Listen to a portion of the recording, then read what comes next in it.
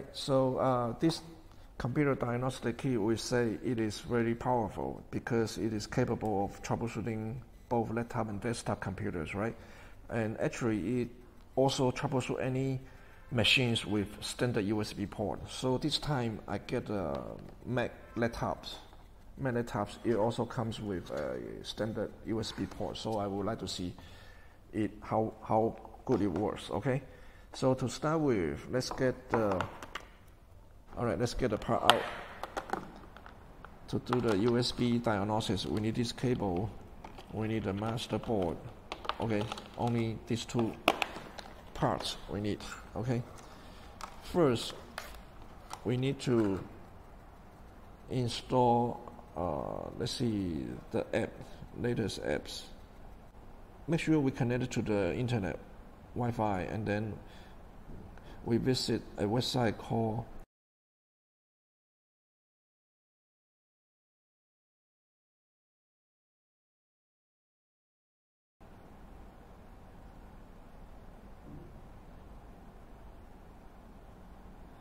okay? And it will lead us to the uh, Amazon Cloud Drive. Then we open this folder.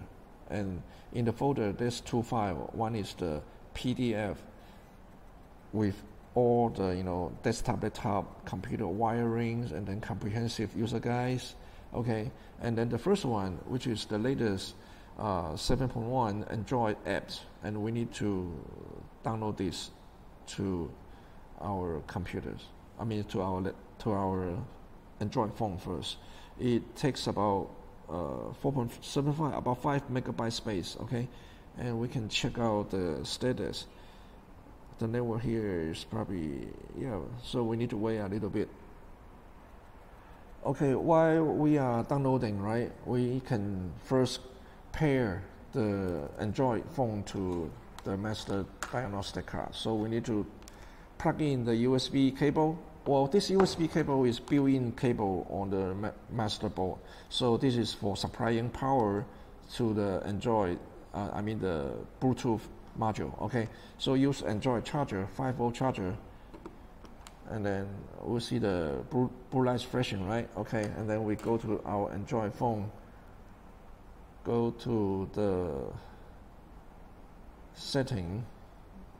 Make sure the bluetooth pair new device then we look for the one ending bt10 let's see which one is that okay all right, so we see the QI GUA, and BT10, right? Click it, and then the password is either four zeros or one two three four. I tested myself, so one two three four is working. So and leave the two checkbox and check.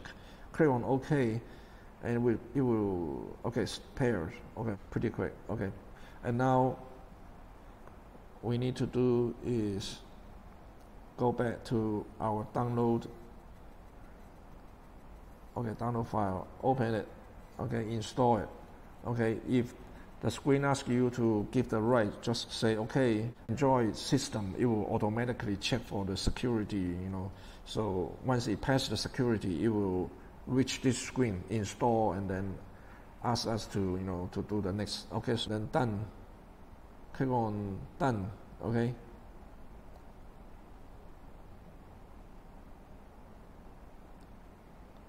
and then we we see the app is installed here. Now we need to do the app level, application level. We need to tell our app to link to to work to link to this master board first, so we know what to do next.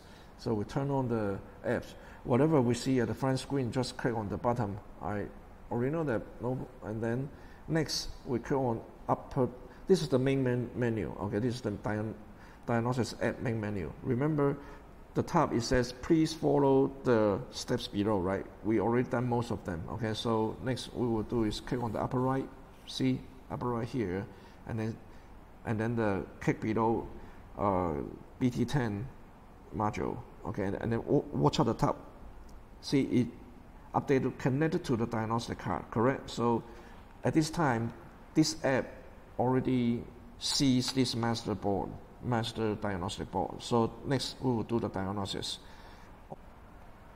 All right, so we next we will connect the USB wire between to connect the master diagnostic board to the Mac laptop. Okay, all right. So make sure we use the small connector micro USB and then connect it right. Okay, just connect a little bit. Okay, make sure that, and then uh, the other end, the other end of this cable. Okay, let's get it straight first. We connect to our laptop magnet top okay just make sure the top status is connected to the diagnostic card make sure the status is is correct okay? And then now we turn on the laptop. Okay and see press the power button. See the testing is in progress.